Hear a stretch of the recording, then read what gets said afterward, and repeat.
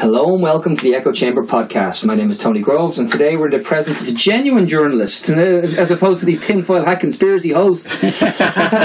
as always, I'm joined by my co-host and newly appointed head of the Construction Industry Federation, Martin McMahon. yeah, yeah, yeah. Congratulations.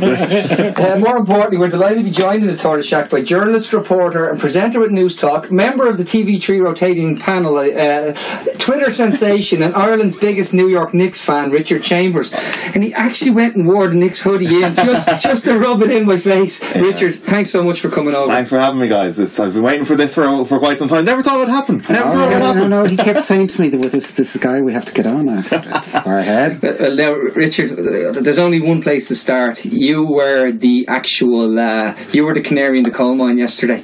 You got to stand in the RDS and and and, and watch the Irexit uh, meeting as, as it went How do you down. pronounce that? Actually, there was a bit of a debate about yeah, this. I think it's Irexit. I think it's Irexit. And I was chatting actually one suggestion. I mean, because he had all these other ideas. Because like, here's this is a bit derivative. Should we call it Aramok or whatever? and um, one of my friends, Siobhan Brett, who's a journalist based in New York now, um, she sent me the suggestion when she heard that there was this meeting in the first place. She's like, can we call it? Exit, I X I I T, because it's something she can imagine Enda Kenny saying. So um, I was like, that sounds like a better suggestion. It's a reasonable question. Wish somebody from the floor asked. But even even Ira Exit just sounds ire, doesn't it? it just Yeah, sounds angry, and it's kind of in keeping with. or I wrecked it, you know. Oh, um, you were you were there yesterday. I, I want to start with, with first of all the John Waters speech, and I, I said this downstairs. It, it seemed to me that was the speech he wanted to give ten years ago, but now he just felt confident enough to go there. To actually, there was a lot of othering. There was uh, newsworthy on, on Twitter put up a, a lot of clips. I know you took videos as well, but there was a lot of they this they that um, they they are them, and it was it was just the othering of, of, of anybody who wasn't uh, in his eyes an Irish person. Yeah.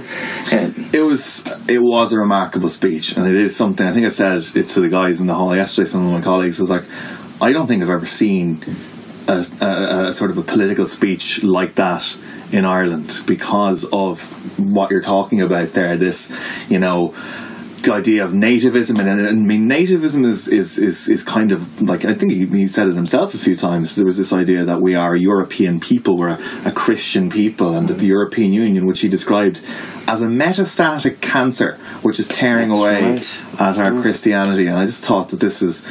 It, it seemed to me to be a speech which probably wouldn't have been out of place in like 50s or 60s United I'd go, Kingdom. I'd go earlier. I mean, you, you, you can argue about it, but it was a really remarkable speech. I think, I mean, all of these lines and people were, were, were picking out quotes from it. Stuff like, you know, the, the three main pillars of society being family, church, and nation.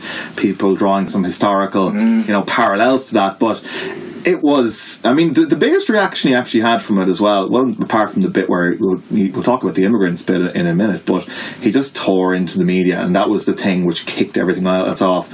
And I think that was about midway through the speech, and after that, it just went. It was it was a bit of a barnstormer. Like his energy went up. Mm.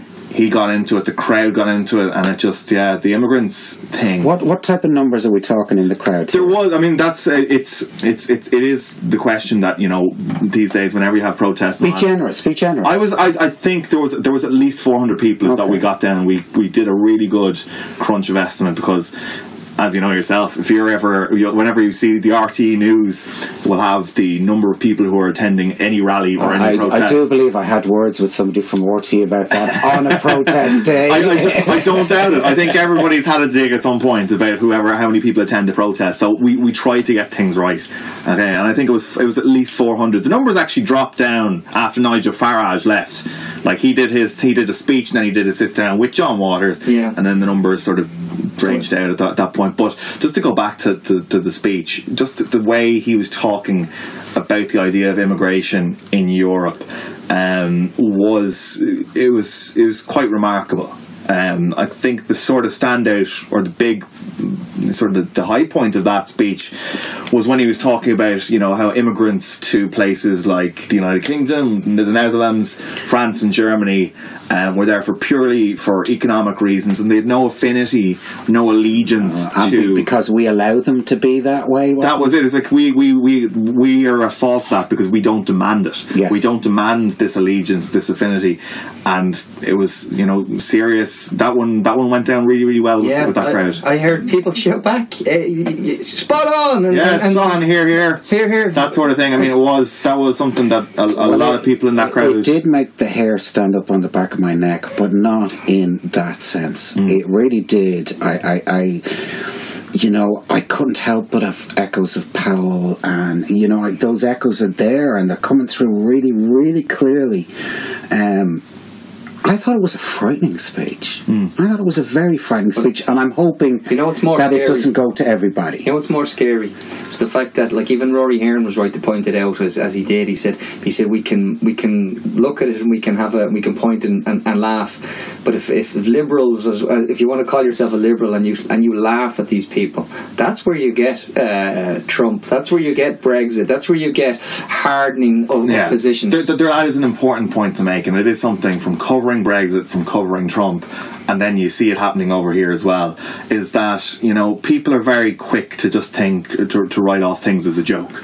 Um, that this is a joke gathering, a sham gathering, is how Neale Richmond, the Fine Gael um, senator, described this beforehand um, for different reasons. Basically, said that you know Nigel Farage's video had all these fake facts in it. Yeah. But the, the people are very quick to write things off as a joke or to just have a go and just say just describe things as you know fascist or whatever like that and you know what I, I if people want to call each other fascists that's up to them I mean it's not a word that should be bandied around too casually I mean it's very very serious connotations to that but the fact of the matter is that when you use those terms or you write things off as a joke people who aren't even involved in that discussion. They mightn't. so people who have no affinity to Trump or to Brexit or to IREXit or mm-hmm. whatever else. They don't like that. No. If you're not a member of that sort of, you know, that liberal, you know, I don't know, but I don't want to use the sort of, yeah, Echo chamber. e- echo chamber or a bubble. Exactly, echo chamber. We'll get the brand in there. but um, like, if you're a part of that, if you're not a part of that, where you're throwing out the word fascist or, or like Nazi or whatever else, or Quisling, which is another word we'll probably get around to in a little bit. that, yeah. um, you know, that puts people off because it doesn't seem like you're engaging with the substance of the debate. And I think that's that's something that people have to be mindful of here. Obviously, Irexit, if you look at the opinion polls, there's a very, very small number of people who actually, as part of our society, who actually believe that that is a good thing. Somewhere between 10 and 15, 20% at an absolute stretch. But, you know, these things can take off. These things can very, very, very quickly Well, off. uh, also, like uh, being a, devout lefty, which I am, I have big issues with hmm. the big, big issues with the EU. And, and would we be better off in? Would we be better? Yeah, I can, I can countenance, but that, not on a level of migrants are destroying the the EU. Not on that level. Purely on an economic level. Do we want to be going down this neoliberal route, or do we want to be going a, a more socialist route? That's Yeah. my And th- th- that is something. I mean, that is something that you know has almost been lost in a way in talking about Irexit because we're all quick to like to say, right, these group are absolute loonies and Yeah. whatever about this, and we have to stay in, and Brexit is a disaster, it's a mess, la la la. But if you talk about the substance of what the European Union is about, there are some very, very genuine concerns and problems. Fisheries is one which came up repeatedly now yesterday, and there is some, you know, there is some lie. There is a lot of lying which goes on about fisheries, but there are you have to talk from. I know plenty of people involved in fishing, whether in Killybe- Killybegs up in Donegal or Castletownbere down in Cork, and they hate what the European Union has done to fishing because you know they see you know quotas for all of these other boats, whether they're coming from the UK or they're coming from France or Spain or whatever, fishing in our waters. They have more quotas and all that sort of crack. But there's benefits to that as well to European membership as well. But like you have to engage on the fact that there are issues with the European Union, really serious this, ones. But uh, this, for me, is is my bigger problem. I see that Brexit has become the talking point for what I would call those people that don't have a home in mainstream politics hmm. because they are too far out there. So Brexit has become the talking point, but eh, do they? Do, is Brexit really something they believe in? No, I don't think so. I think they're just using it, same as they're using um, pro-life, same as they're using libertarianism. They are using these things to get this message across, this anti-migrant, this enemy at the gates message, and Brexit is just the latest tag that they can add into this. But you look at the crowd that's, that's, but there. But that's making it smaller because in the reality, you can look at let's look at Trump's uh, uh, popularity ratings. Right, he's bouncing around thirty three percent or whatever it is, and yet it was when he when the question was put during the campaign, who did the people trust more, Hillary or Trump? 86% of people trusted Trump more, purely on the basis that what he said, he believed it, whether he believed it was, it was true or not, he came across as, as genuine. Now, Truthiness is the word for that. Yeah, yeah, yeah. But, but, but we talk about truthiness, but, we, but in these ideas, Martin, you don't need to be pro Brexit to, to think that we need to look after our own. You don't need to be pro Brexit to, to think that, um, oh, we can't sort our housing uh, issue without um, stopping people coming in. So these ideas, they don't need to be, you don't need to be net, naturally a, a libertarian, a pro lifer. You can actually be a, like, that we have MEPs who are in Europe right now who are opposed to the EU. That's right. So- good MEPs who are Yeah. opposed to the EU. So, so, so we have to take we have to take this on a wider on a wider conversation because if we don't, we'll sleepwalk into into trouble where you'll find out that, that they'll end they'll arrive with a a, um, a political um, representation, and if it is 10 15 percent, and we're dealing in new politics, and we're dealing in in, Yeah, in, it's in- enough. it's enough to make a difference. So it needs to be it needs to be actually we need to face the truth. We had with Lorcan Sirr here said if you never if you don't face where you are, you'll never you'll never actually understand how to fix it.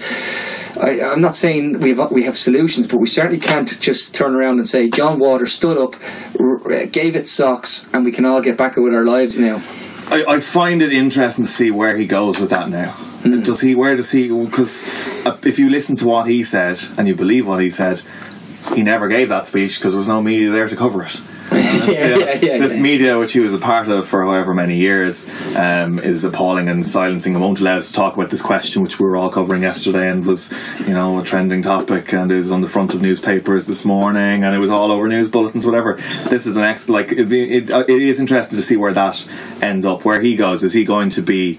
You know, a part of this movement going forward? Is he going to be like? But what we've got, we've got, for we've got to sort of decide what is this movement because it's not so clear what it is. There are elements of of Hibernia Forum in there. There are elements of of pro life in there. There are elements of MAGA in there. Yeah. There Seven, so I did do the count yesterday. Seven MAGA made make America great again hats around the place. Like I've I like, to Tony, we, we want hats here for the podcast that are uh, M I A L L S. Yeah. Miles. Yeah. Make Ireland a little less shite. That's wow.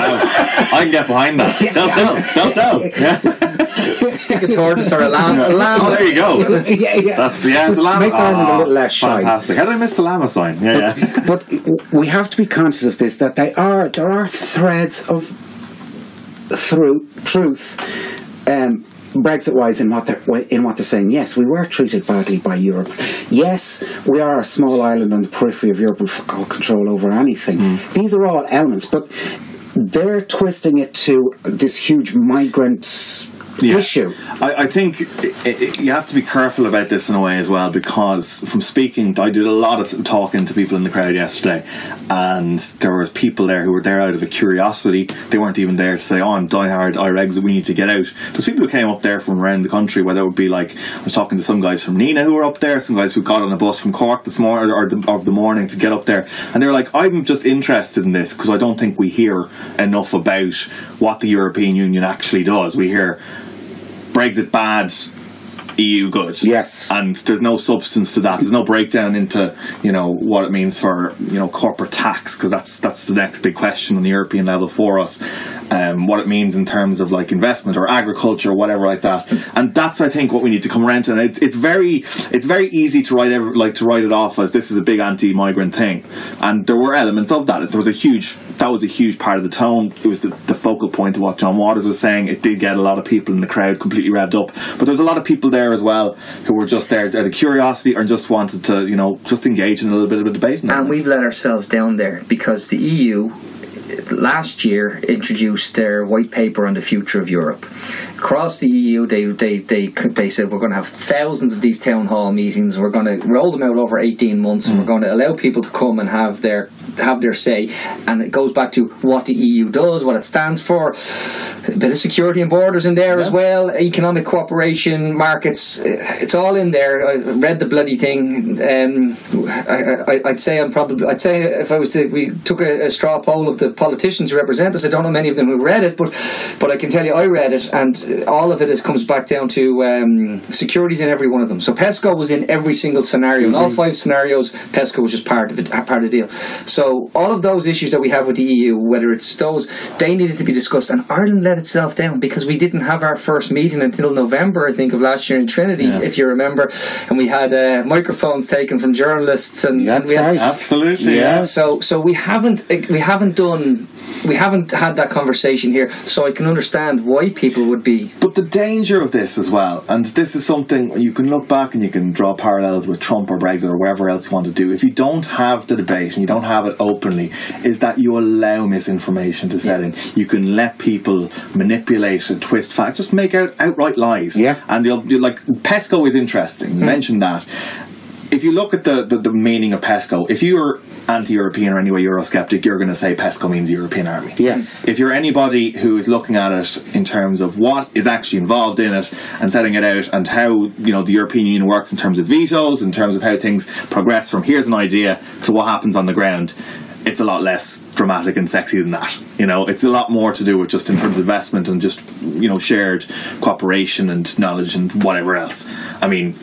Like, When it comes around to European army and whatever like that, I mean, there will be a much bigger debate about that, and I, I think I think it is worth questioning it and, and keeping an eye on everything as it go. But that isn't happening, and that allows people to spread lies. Well, I mean, the, the neutrality, neutrality question is, is a huge question, and, and the powers that be at the moment are basically fobbing anybody off who's, who questions or says, mm. Look, we are a neutral country, why are we doing this? And there is no discussion. There simply is no discussion. This is the thing. This is the problem, and it, is a very valid criticism of our government or Europe that we don't. And it is particularly, actually, I mean, without looking at Europe, our governments never do this particularly well in terms of setting out and explaining what it is they're looking for here. So, with regards to PESCO, just clearly explain to people exactly what each facet of this means, why we're going to be spending extra on defence out of this, how much extra we're going to be spending on defence, what the safeguards are for our neutrality, what would stop us becoming part of a European army. Just really clearly, simple explainer. We've all come across explainers, And- and and, Richard- nobody wants to do this. And you, Richard, you sell these things, and I mean the word. Use the word sell. You start selling them a year out. You don't do it Wait two till the weeks eve of it. Exactly, and that's that's we are so incompetent. But uh, no, but w- w- this is very much like, and I'm just going to make an analogy to the PSC card. They introduce it, do everything. It's almost at the point where it's it becomes the norm, and then somebody raises a hand and go, "Well, did you have any right to do that in the first Yeah. place?" And we're in the same position here.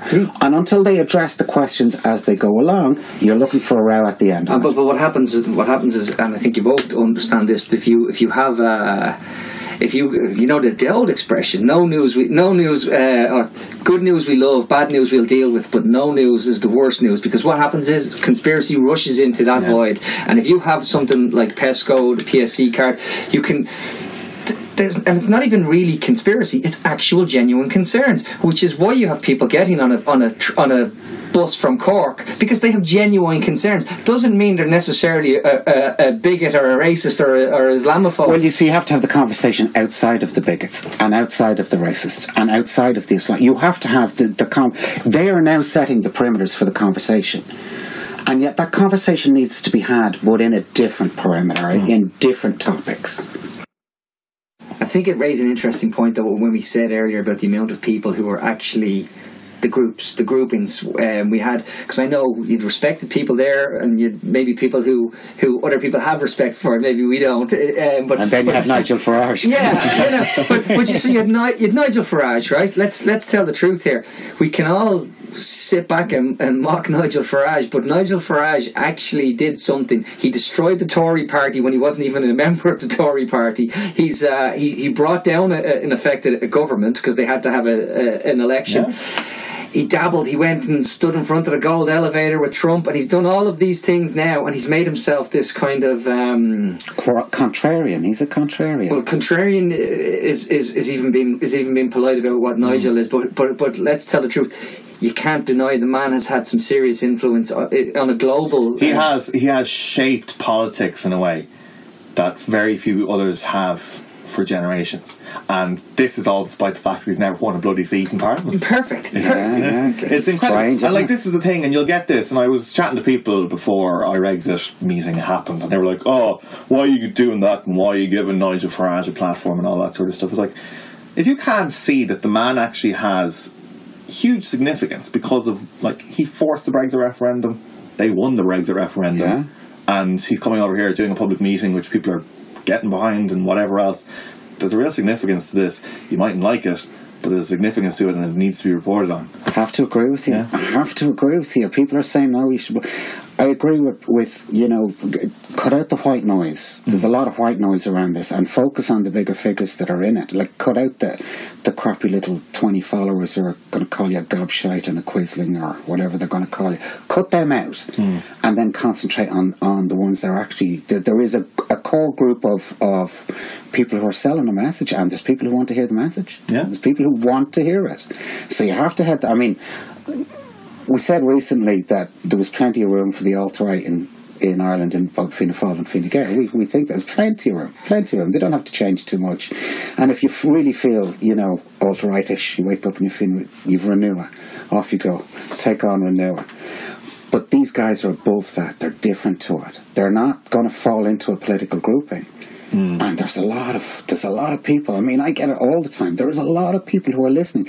Mark Malone said yesterday. Somebody said to him, "Oh, this isn't Ireland," and he goes, "Oh yeah, this is very much Ireland." And I have to agree with him.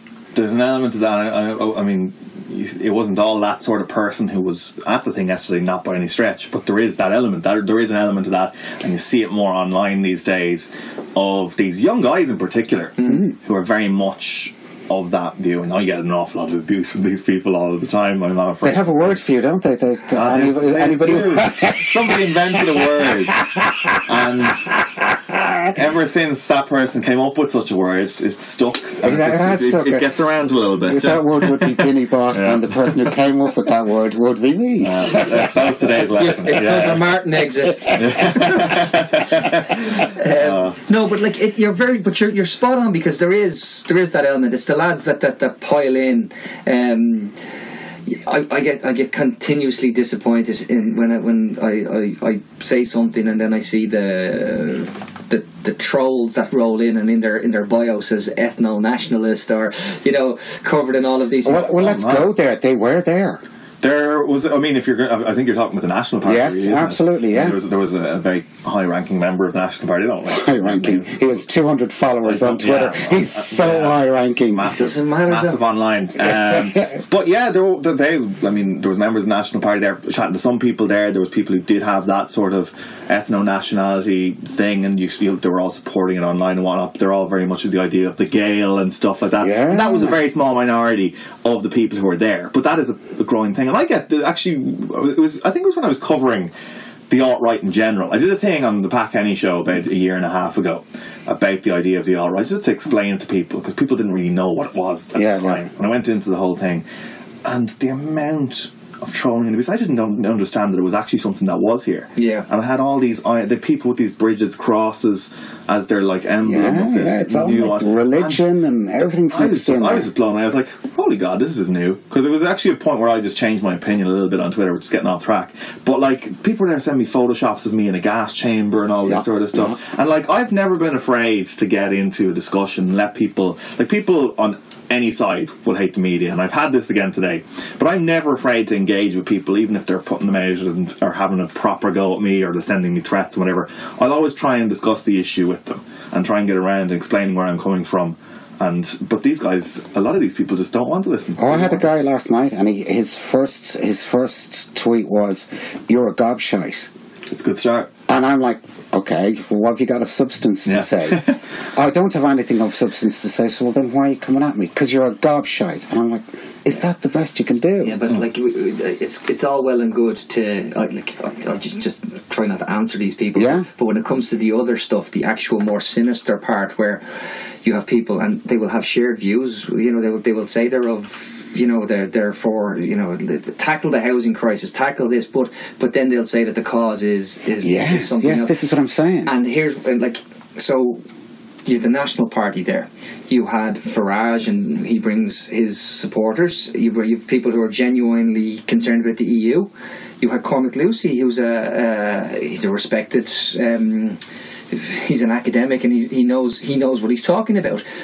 Cormac, like this is he represents the Hibernia Forum. He's he, he has a good platform. You know he can he hmm. can he's he's on national radio waves and TV and summer schools and whatever and I- else there uh, is. But I've not like that's fine. That's absolutely fine. That's all good. But but I have a problem with him saying that that uh, we were quislings. This is yeah. This is the, this was the, the thing that stood out in, in Cormac's speech. I mean, his the, the whole sort of tenor of his speech was that you know we're giving away our identity and independence, signing it away to be decided by people in Brussels. And he got to this point in the speech where he's talking about.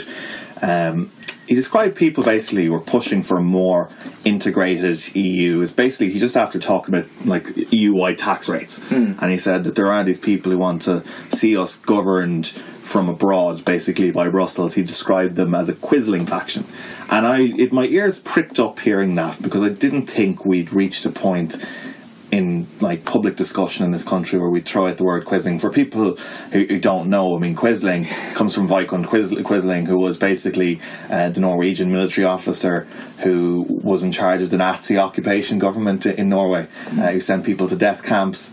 And is basically a byword now for collaborator, It's- Nazi it's right, collaborator yeah. for a foreign invading it's- force. You might as well call it a capo in a in a it- you know. Like Yeah, that's, and it is. It's, it's it's a word that has ended political careers Hmm. in, in, in, in the UK and elsewhere in Europe because it is such an emotive term. It is something that I think people shouldn't use lightly or at all. It is like calling people a, a Nazi away, and, and people do get very offended and upset by it. If you talked, if you said to anybody in Norway that people were on at a big meeting in Ireland there and used the word quisling to describe people of a differing a political opinion, well, actually, it wasn't there a law passed in Poland this week? yeah. Well, hang on. That's that was a completely. Uh, But again, it was, backward a, thing. it, but it was about you know you're talking about language again and about control of language and control of what people can say. Hmm. Whereas quizzling, quisling is very clearly we know what quisling means. so the connotation is very clear. Oh, very. And and uh, and the concern I have, and this is the concern I have, is that they decided that the rock we want to perish on is the CCCCCCCTB, the the common consolidated um, tax base that just corporate tax base. Okay, Yeah, yeah. so that's the rock we're going to perish on. Um, Brian Hayes has written a blog about it, saying he's not um, he's not going to. This is the this is this is the EU going too far. Cormac Lucey is speaking out about it. When did UK leave, and the UK will leave. I, I fully believe the UK will go through with it. The people who keep telling me there's going to be a second referendum, I, I hate to burst your bubble, guys, but they're not like the Irish that we we just don't we won't keep voting until we get the answer we want. Um, the CCCTB is going to become a, going to become a problematic for Ireland insofar as we've lost our buffer.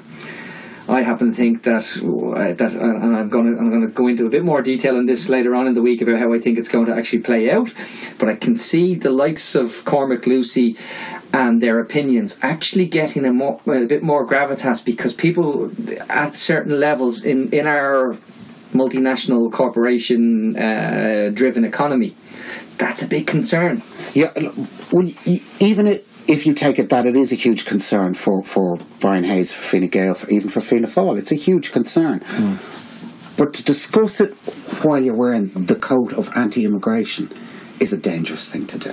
Yeah, I think in fairness, he steered off mostly from immigration in his speech. Yeah, but you're a He- part he of a did- forum that's talking yeah, about that's this. true. That is true, and that is a fair point. I mean, I did put it to Cormac there um, earlier on today. I was I was trying. He was sort of back and forthing about what exactly he meant or who exactly he was describing when he was talking about Quislings. And he never really got back as to whether he thought it was appropriate thing to say or whether he would apologise or whatever. Um, yeah, but it is something people have clearly taken offence to, and I, I think the historical context of it is very, very clear. And it, I don't know. I don't know where this goes. Then Did you, mean, this find, is- did you find the room imposing? Did you did you find it imposing on a personal level? Did you, you I presume you had no fears of being there? But no, I, I have a lot of. I mean, there's a lot of people there. Who are, Richard, for you don't know, is about six foot two. no, and I, I think I, I, I don't want to get to into a thing where I, I, I'm describing, you know. I'm- But you I'm did have. So you did have. I saw one hostile tweet where you. Yeah, you ah, that so, was yeah, that was yeah, actually yeah. one of my favourite things which has happened, and I it was a uniquely Irish thing, and I, I actually enjoyed, and I had great chats with a lot of people who were in the crowd, and they had some really interesting views. But there was one point in the entire discussion where there was a Q and A session from the floor, and one young woman who was probably in her mid twenties, I, I, I think, um, she asked, stood up and she asked, "Here, how is there so few women in here?" Because um, that's something the media is going to talk about. And if we're trying to build a platform and, a, and something that catches on, we need a broader appeal. She got instantly heckled by a few people, uh, which was like, which I, I was surprised by. And then a guy at the front of the room, uh, he was just a member of the audience. He stood around and he told all of the women in the room to stand up. Because that would be a good thing to do, Oh, God. and that would show that How you know, many we have loads. up? But it was it just um, I couldn't count. I mean, I have a photo on. Oh, no, there. no. I've was- seen was it, there- was seen it. there It was, um, and all of the all of the women who were in attendance then stood up. So there was a there was a, a fairly decent mix of men women. No. I mean, I, in total, and I mean, this is something I couldn't really get, give you. About four hundred in the crowd. The majority, I would say, and like uh, to to be, to be fair about it, at least eighty percent men, and It was, possibly it, it was it was like going to a live off the ball event. Let's tell the truth. Like that's what it was like. It, Uh, it was welcome to the man shed. I saw the picture, and I, I can say it. You can't, but that's how. Um, Yeah, but the thing about it was, it was it was a, like it was a very interesting optical moment where you have Yeah. a guy telling all of the women in the room to stand up so that we can see yes, there are women here.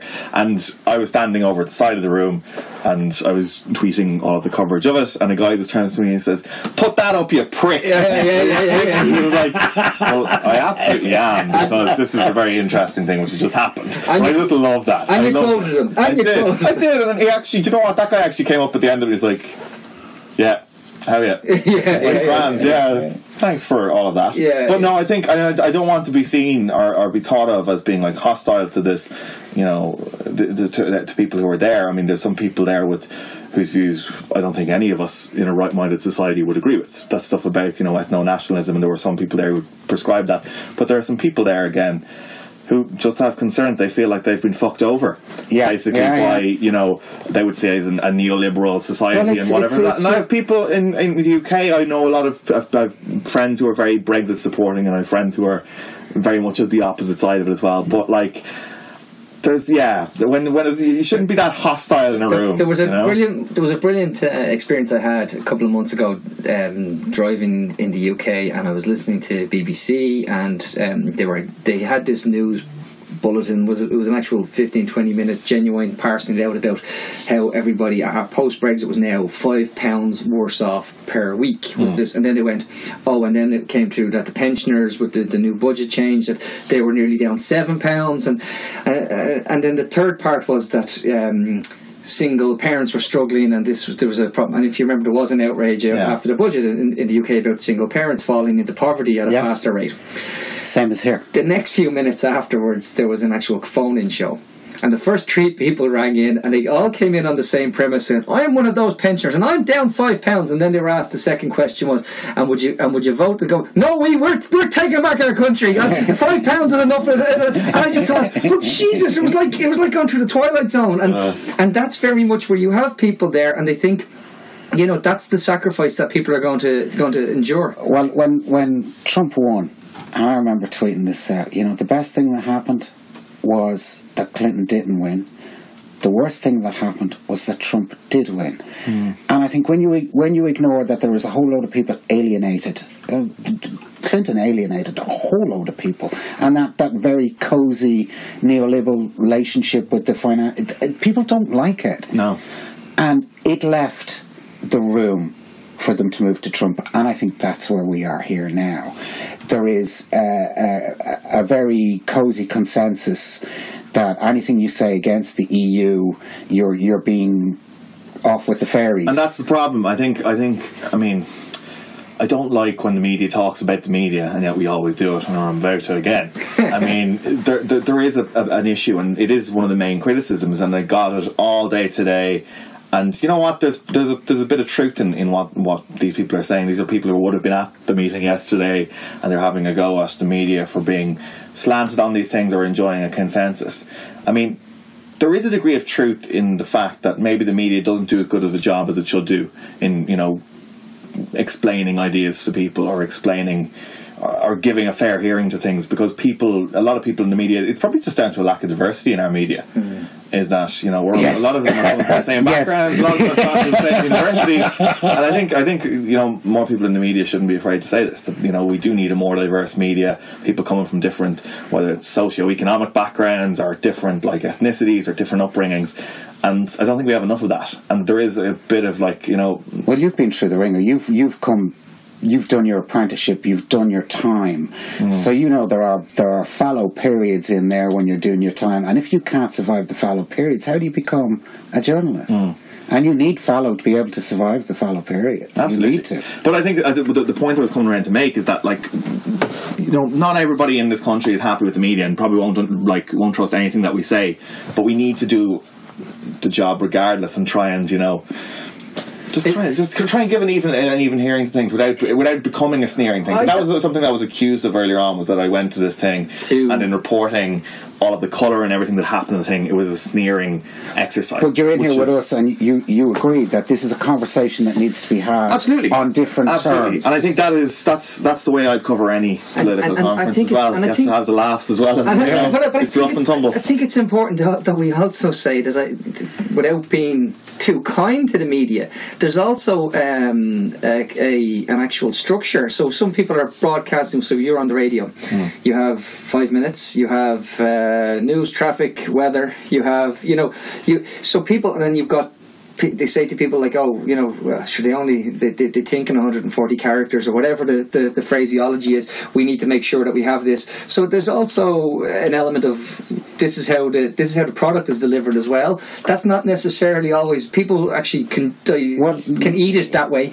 And then you go into RTÉ and you maybe have a panel show, and the panel show maybe actually built in such a way as that this is going to be, you know, we'll we'll have a, a, a mock debate over here, and we'll have an actual agreed talking point over here, and then we'll see where it goes. Now, I'm not saying that this is is is is across the board, but it certainly comes to me where sometimes it's like watching a college, um, a bad college debate. Yeah, yeah, no, I and, get you. And if you're going to watch a bad college debate, I'd rather watch it in, with, with, with people who have some ideas that, that are going to actually do. Well, you, you caught me on a good day, Richard. Normally, Oh, I'd be, normally Yeah. I'd be very against. I'm lucky. I'm lucky. It's a very good day. Yeah, Yeah, yeah. It's only taken me 19 years of fighting with it to get it into the newspapers. Yeah. You know, so today I say, yeah, the media works. yeah, but it took a very, very, very long time to get it to that point. Hmm. A hugely long time to get it to that point. So, yeah, media needs to diversify for. I mean, there was a time when the only voices you ever heard in media were plummy Dublin 4 accents, and we've gotten away from that. Yeah. I mean, there's actually Kerry people, like Mick Clifford. You're not from Cork. Kerry, I think, I think you're, uh, you're in for trouble now, guys. But I mean, this is it. I mean, it's it's it's the same thing. And again, you go back to Brexit and Trump, and there was an element of surprise, surprise in the media at those results. And I mean, if we're we're not careful, the same thing will happen here because we don't engage. Well, we don't want to end up with another Debate. pinata that never gets used. You know, we don't want to end up in that case. Do you, do you ever listen to the lads on um, Pod Save America? I do a little bit. Yeah, do you remember- I find it a little bit much. I'm like, yeah, yeah. come on. It, it is. It is completely. Yeah. It is completely. Like I mean, we even tried. We but, but when I listen to them, and I think like they sat and they did a thing with Bill Simmons, if you remember before, and- Right. And and they were and all of this was going. They were literally talking about the Hillary victory parade. Hmm. And and, it, and and I was so convinced because I was listening to them going, oh sure, it's a victory parade. They they, they got the, the lobby of the hotel. They put in the glass ceiling. You Yeah, this? yeah, of course, The yeah. glass ceiling. They were going to break the glass ceiling that day, and they were all invited. There's a bigger question of polarisation. What's going on with politics at the moment is quite, and and they they talk about a rush to the centre.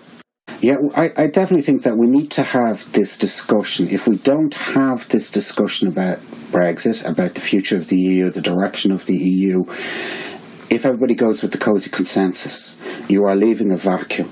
and into that vacuum will come the the and excuse me for want of a better word, this is my opinion, crazy voices, and the crazy voices go in there, and they become the force for change, and then you end up with Trump America.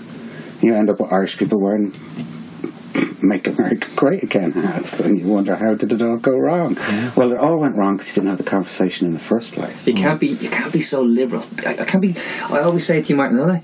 I'm so liberal that I don't even need to discuss my liberal values. Oh yeah, you. absolutely, yeah. Ah, you have to have the round. You have to have the debate, guys. You know. I think, yeah, and I think, I mean, there's so much that needs to be teased out with the European Union because, I mean, I can fully understand, you know, why people turned out yesterday for Irexit and they hate the European Union because I mean and this is the problem I think I think when you come around to what actually happens next the discussion needs to be about the push from places like France and Germany for a United States of Europe. You have Yeah, people like Martin Schulz will come out. Jean Claude Juncker has made it very, very obvious as well. that That's something that he's very interested in, and that needs to be a discussion as well. It's like how exactly does Ireland fit in? Because I don't think that's something that anybody in Ireland at the moment would be particularly fond of as an idea. Mm. How exactly we go about breaking back against that, and nobody's having this discussion about what the EU even is. Well, you see, we've we've come through this this period where it has been arse licking the EU to get the money. I mean, that's really what happened. Well, there was two things. We we look at the motorways, and we were we grew up with the motorways with the with the EU flag on every on every exit and entry, and you knew they, they they paid for the roads.